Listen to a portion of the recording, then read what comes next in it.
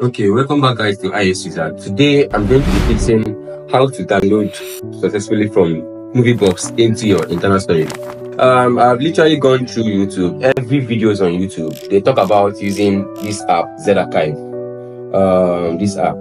One thing about this app is that it works on, no, it doesn't work on every phone. It works on phones that run on Android 11. And if it doesn't work on a phone, you're in the right video because uh, I tried figuring it out myself and then I succeeded. Because if you try going to Android data, you see that it's asking you for permissions. And when you click OK and it takes you here, you can't use this folder.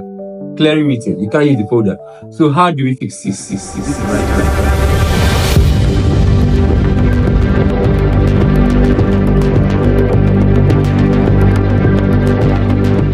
So guys, this is iOS CSAT. Sorry for the short break. In this channel, we make videos on um, tech devices, Wi-Fi, laptops, I, um, phones, iPhones, and then smart TVs. So if you have any interest in this, try subscribing. And then I'm trying to share updates on how to save your files successfully from Moviebox in this video today.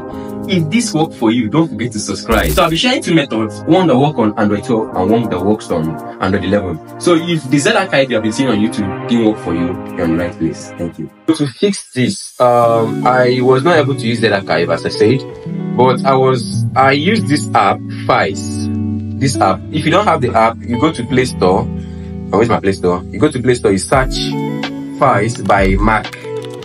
Okay, you just type Spice Marc, and then it comes out, and you download this app. When you download the app, you open it. Um, what you need to do is just go to Android. It will ask you for some permissions about um, controlling the storage in your phone. You get granted permission. Then you go to data. This one opens data very well, and then you open this you scroll down to you find this com.community.mbox.ke you click on that one. And then you click on files. And then you click on downloads. And then you click on D. And every movie I've downloaded in movie box is here. And then I can successfully copy. I can cut it out. I can click to cut or move or copy to where I want it to be. Uh, let's just show it in the video. Move, and then I come to my phone storage and paste it here. I've pasted one before, paste it here, and then moving one item, and before you know it is done. But if this is the method, the best method, if ZArchiver is not working for you, but if ZArchiver is working for you, see the method here. Download ZArchiver on any phone. Um, click on ZArchiver. It will open like this so when you open ZArchiver on the Android phone that runs on Android 11, you click on Android, you click on data, and then it will ask for permission. This one doesn't ask for permission, but if it's this one, to ask for permission. Then you click on, uh, you click on, you look for the same community on community.mbox as we find it here, and then the same method, you see your video there this is Harry Danger, the only movie I downloaded in the MV box, and then you can move it out. So comment your difficulties, comment any phone you want me to that is not working out.